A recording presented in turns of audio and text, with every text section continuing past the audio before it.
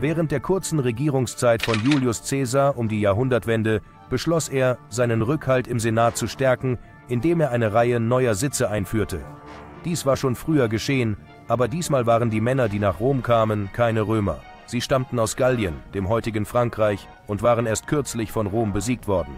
Obwohl wir heute wissen, dass die gallische Gesellschaft fortschrittlicher und komplizierter war, als man jahrhundertelang glaubte, war sie bei weitem nicht so fortschrittlich wie die der Römer, und die neu ernannten Senatoren waren allem Anschein nach von der Stadt Rom überwältigt. Die Größe der Stadt, die Gebäude, die es nirgendwo sonst auf der Welt gab, die Menschenmassen, die wimmelnden Straßen, die Kunst und die Technologie, es war, als wären sie auf einem anderen Planeten. Eines erkannten sie jedoch sofort. Rom war voll von Sklaven. Einige waren Gallier, die während der Kriege Roms mit ihrer Heimat gefangen genommen worden waren. Hätten die Römer ihre große Stadt auch ohne Sklaven bauen können? Wahrscheinlich. Aber so war es im alten Rom nicht. Und wie die meisten anderen Völker, die Sklaven besaßen, konnten die Römer brutal sein. Sehr brutal.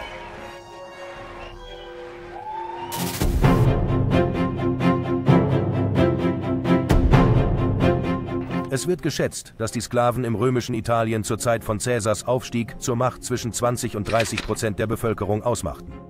In Rom selbst mag dieser Anteil noch höher gewesen sein, da die Stadt ständig gebaut wurde und die Zahl der Bürger wuchs, die mit Arbeit, Dienstleistungen, Bildung und vielem mehr versorgt werden mussten, wozu auch Sex gehörte, oft in Form von sexuellen Übergriffen.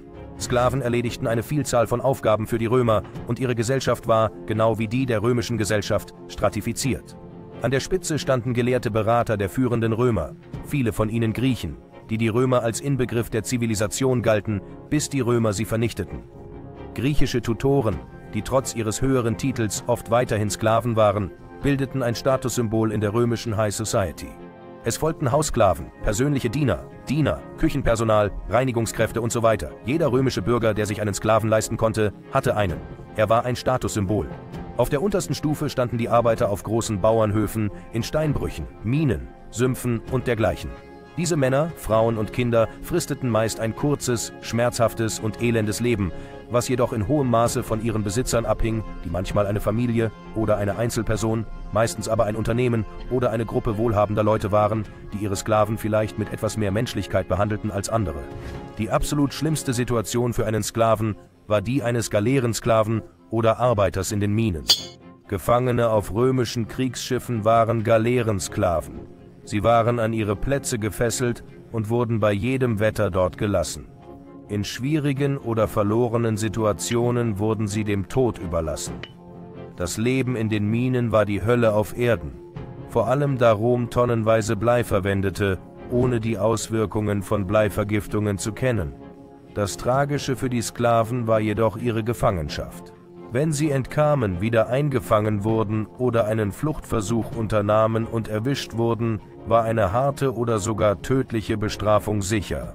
Eine Gruppe von Sklaven, die Gladiatoren, hatten in Rom ein gewisses Ansehen. Manche von ihnen wurden so populär wie heutige Popmusik-Superstars.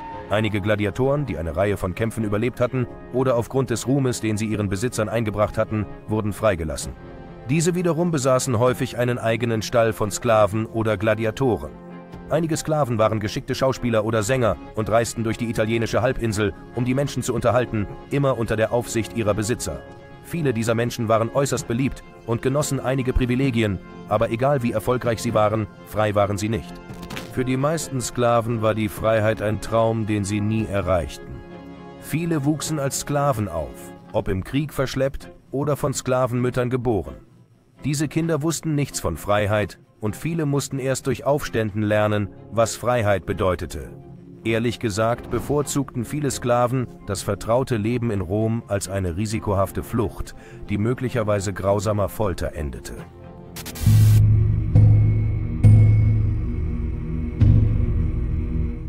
Was ist die bekannteste Form der Bestrafung von Sklaven, Verbrechern und Verrätern in Rom? Sie haben wahrscheinlich schon daran gedacht, bevor wir es überhaupt aussprechen können. Die Kreuzigung, abgeleitet von dem lateinischen Wort crucificare, an ein Kreuz binden. Die berühmteste Kreuzigung ist natürlich die von Jesus, der beschuldigt wurde, sich als König der Juden ausgegeben zu haben, ein Titel, der den Römern, die Israel erobert hatten, nicht besonders gefiel. An der Kreuzigung Christi war nichts anders, nur dass die Geschichte Jesu nicht mit seinem Tod am Kreuz endete. In den Jahrhunderten, in denen die Römer einen Großteil Europas, der Mittelmeerküste und des Nahen Ostens beherrschten, wurden Tausende, wahrscheinlich Millionen von Menschen gekreuzigt. Die Kreuzigung gab es nicht nur in Rom, aber der Tod Christi machte Rom zum Synonym für diese qualvolle Prozedur. Die Kreuzigung konnte Stunden dauern.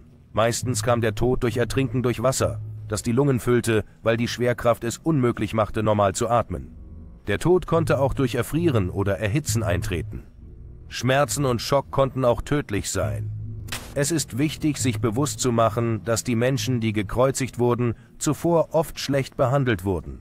Sie wurden an Hände und Füße an Bretter genagelt. Viele wurden auf verschiedene Art und Weise bestraft, wenn sie versucht haben zu fliehen, sich anderen angeschlossen haben, gegen Befehle verstoßen haben oder ihren Besitzern missfallen haben. Schlimm war auch, dass manchmal andere Sklaven die Aufseher waren.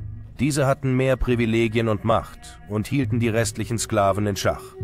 Sklaven wurden zu Tode geprügelt, zum Tod in der Arena verurteilt, zu Tode gepeitscht und in einigen Fällen in Afrika von Elefanten zertrampelt.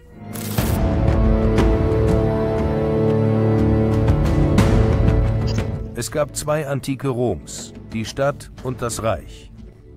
Die Stadt war und ist unter anderem für das Kolosseum bekannt, die Arena, in der epische Kämpfe und andere Events stattfanden. Viele römische Städte hatten Arenen oder Amphitheater. Eine der gut erhaltenen römischen Arenen befindet in Nimes, Frankreich und wurde für Gladiatorenkämpfe genutzt. Im ganzen Reich gab es hunderte von Arenen, manche groß, manche klein, und die meisten waren mit Blut besudelt. In lokalen und regionalen Arenen fanden nicht nur Gladiatorenkämpfe statt, sondern sie wurden auch als Hinrichtungsplätze und vor allem zur Unterhaltung genutzt. Sklaven wurden dort häufig hingerichtet oder bestraft, hauptsächlich wegen Aufständen oder weil sie Anhänger des Christentums waren, bevor es in Rom akzeptiert wurde. Sklaven wurden manchmal als ehemalige römische Feinde verkleidet, um große Schlachten aus der jüngsten oder fernen Vergangenheit Roms nachzuspielen, und wie Sie wahrscheinlich wissen, wurden viele Christen und andere buchstäblich an Löwen, Tiger oder Bären verfüttert.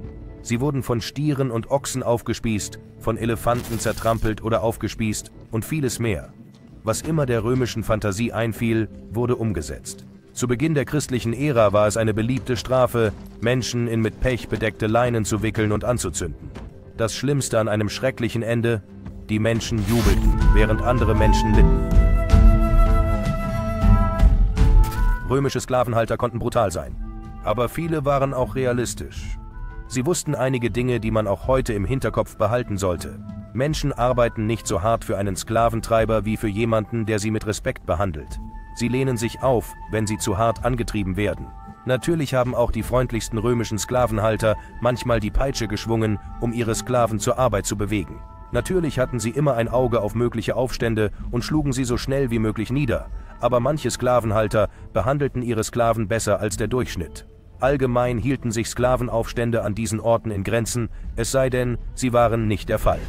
Der berühmteste Sklavenaufstand fand in den Jahren 2-3 nach Christus statt und wurde von dem thrakisch-griechischen Gladiator Spartacus angeführt. Spartacus und einige andere Gladiatoren entkamen aus der Gefangenschaft und machten sich auf den Weg nach Süden, in der Hoffnung, Sizilien zu erreichen.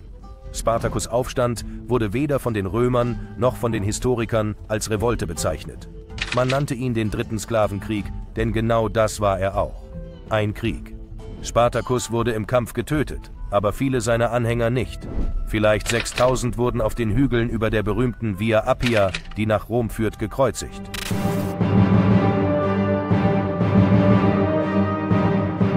In einem unserer letzten Videos, Die schreckliche Wahrheit über amerikanische Sklavenzuchtfarmen, haben Sie gesehen, wie unmenschlich Menschen sein können. Die Sklaven im alten Rom wurden nur während des Krieges gefangen genommen. Sie wurden den Römern von den Völkern ihres Reiches verkauft, vor allem in Afrika und im Nahen Osten, die sie dann in ihrem gesamten Gebiet weiterverkauften. Wenn man jedoch reich war, warum sollte man Geld ausgeben, um weitere zu kaufen? Warum züchtet man sie nicht einfach selbst? So unmenschlich es auch klingt, genau das geschah. Frauen wurden absichtlich geschwängert, entweder von anderen Sklaven oder ihren Besitzern um eine fertige Sklavenpopulation zu erhalten. Das war Alltag und alltäglich war auch sexuelle Sklaverei und Prostitution.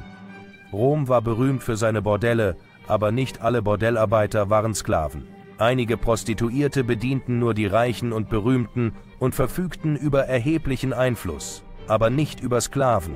Meistens handelte es sich um attraktivere Frauen und Mädchen, aber auch um junge Männer, da es im Rom kein wirkliches Tabu für Homosexualität oder die sexuelle Ausbeutung von Sklaven gab.